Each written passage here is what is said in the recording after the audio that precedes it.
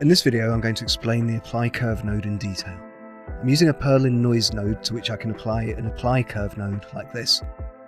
At the moment we can't see any changes, but when I use the brush to draw a curve, the terrain changes completely. The principle of the apply curve node is to modify the height of each input vertex according to the curve that I draw. By default we're in the manual mode, but we can switch it to the point mode.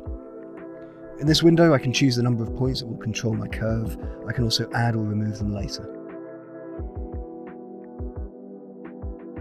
Now I can move them with a left click, or I can right click to access the contextual menu to delete them or modify their properties.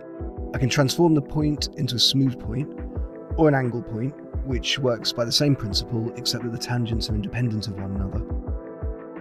And I can left click on the curve to add a new control point.